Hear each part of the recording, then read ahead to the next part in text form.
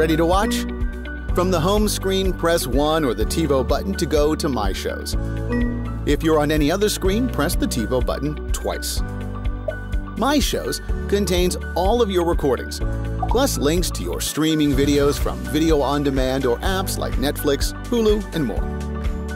This is the Continue Watching strip, a shortcut to the shows you've been watching most recently. Move left or right to highlight a show, then press OK to quickly pick up where you left off. Whether you're in the middle of an episode or ready to start the next one in the series. To remove a show from this strip without permanently deleting it from My Shows, press D. Press down to go to the Filter strip which lets you narrow your My Shows choices instantly. Just press C or move left or right to cycle through filters like Movies, TV, and Kids. Press A to change which filters appear and in what order. You can also choose to sort My Shows or any individual strip or list by name or date. Press B to change the sorting method. As you scroll through your My Shows list, icons next to a series title tell you at a glance where you'll find new episodes and recordings.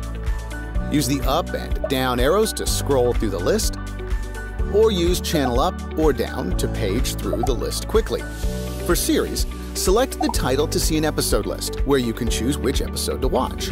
If you always want the newest episodes at the top of the list, press B to sort the list by date. When you've found what you want to watch, press play to start watching or press OK to get viewing options and more information. Prefer to see episode images instead of a list?